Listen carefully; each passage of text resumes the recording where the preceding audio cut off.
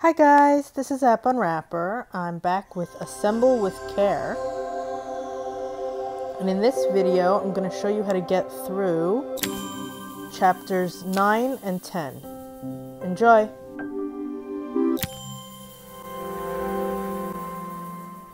When my last job of the day brought me to Carmen's apartment, the door was opened by someone I didn't expect to see Helena. Sorry for inflicting this mess on you. Carmen's never seen a knickknack she doesn't want to buy, apparently. Carmen's apartment was a little chaotic, but totally charming. It was easy to imagine her living in a place like this. It definitely wasn't Helena's style. She seemed more upmarket than flea market. I wondered why she was even here. We're having a clear out, or at least I am. Carmen's not helping, as usual. There's a market at the festival tomorrow. I'm selling some of these things to make her some money. She says she has nothing when there's all this stuff right under her nose. Helena stepped delicately past the items on the floor and reached down to pick up one from the pile. Look at this slide projector. Our parents treasured it, but Carmen treats it like a piece of junk. Can you take a look?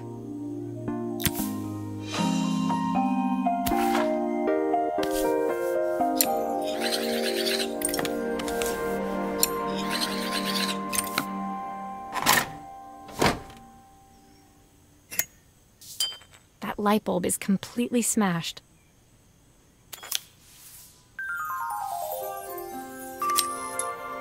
Okay, I'll need to redirect the light to the lens at the top for the projector to work.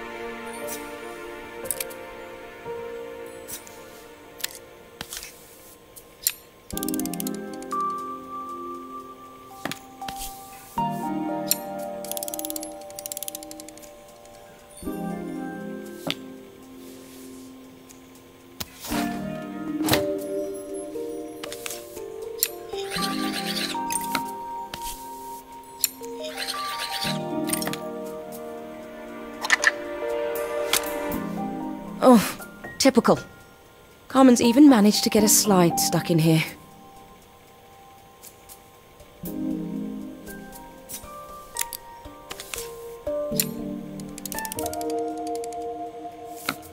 I was so excited when I moved to the city.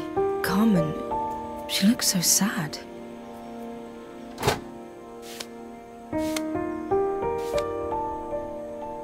Here's the clicker you'll need to attach. God knows how Carmen broke that as well.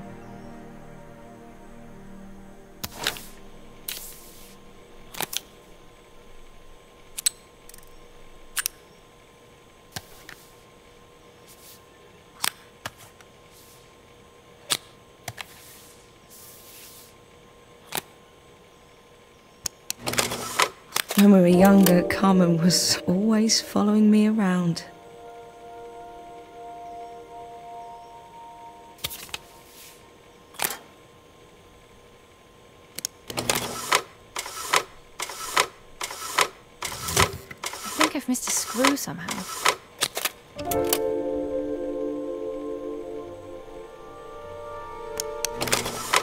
I suppose she looked up to me. A cool older sister.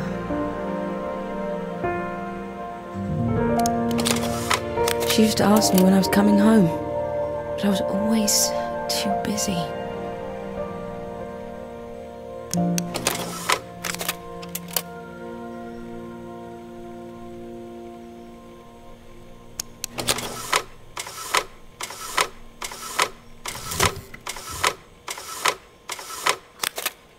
Missed a screw somehow.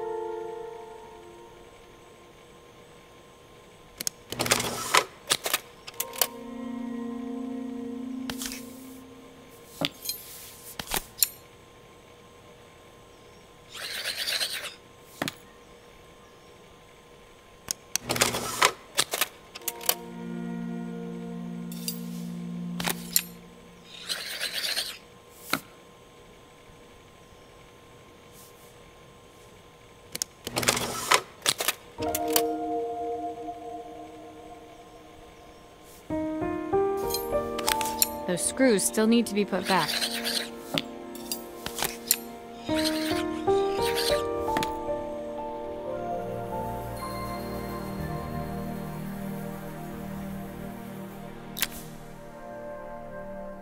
Helena was transfixed, staring at the two young sisters the projector had brought glaringly into focus. I. I never meant to let her down.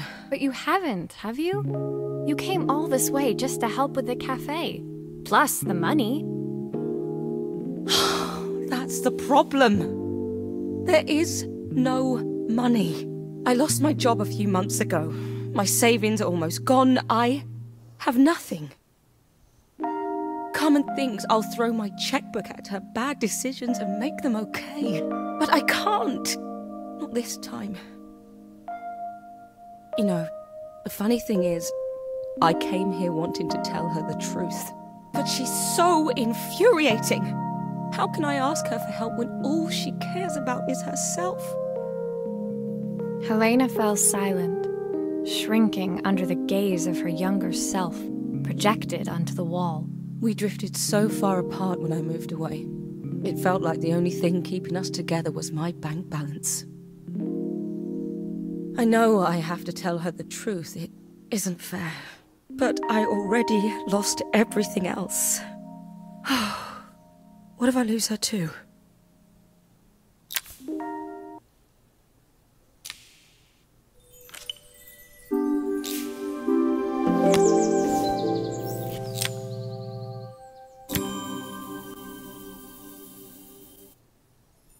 The day of the festival finally came, and after all my hard work, I was ready to put down my tools and pick up a fork. The smell as I entered the main square was incredible.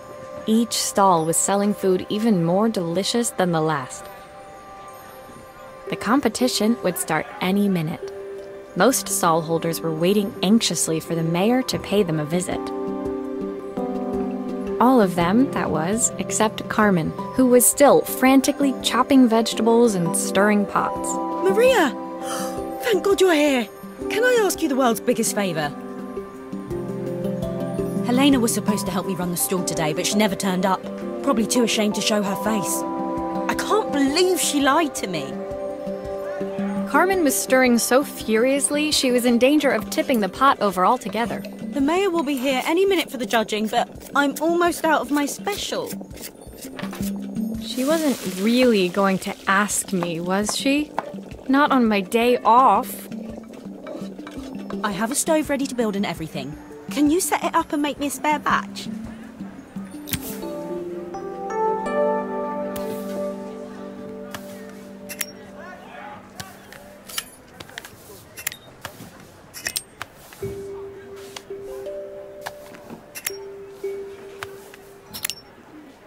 It all fits. Now to light the gas.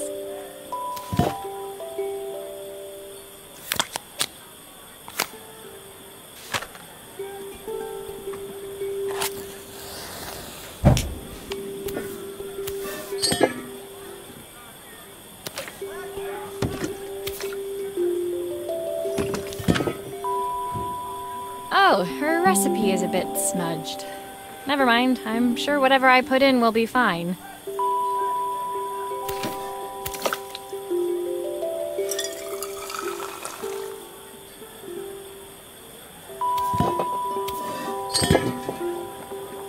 Think that pot is really boiling now. Smells great if I say so myself.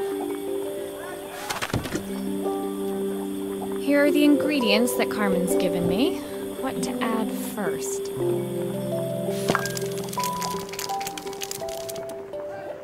Alright, so it says pint of stock, we did that. Four quarter stick of carrot. Uh no, quarter stick of butter rather.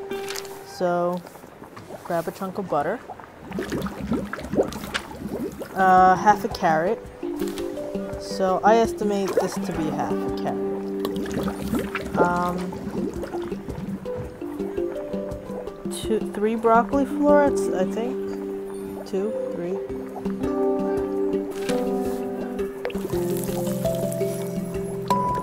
let's say two. Um, handful of chopped tomatoes. Looks good. I'll scoop a spoonful when I'm ready to serve. Uh, three wild mushrooms.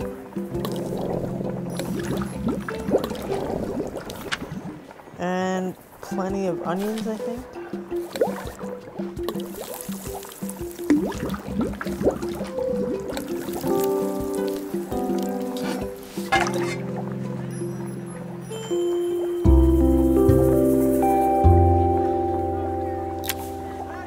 My part done, Carmen took over and added the finishing touches.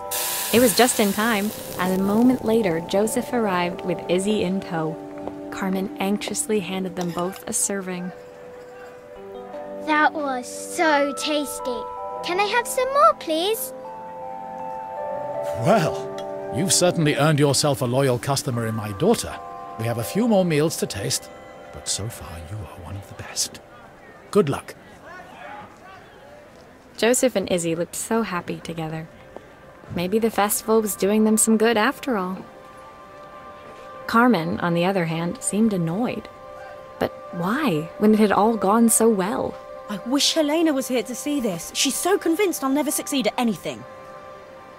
She wants what's best for you. She's just not very tactful about it. Yes, I, I, I know, I know. Even when I was a kid, she pushed me when no one else did. Just wish she hadn't lied to me. But then, I've asked so much of her over the years. I never stopped to think how much she actually had to give. Okay, so that's chapters 9 and 10. I'll be back with 11 in the next video. If you enjoyed this, please subscribe to my channel. Thanks, bye bye.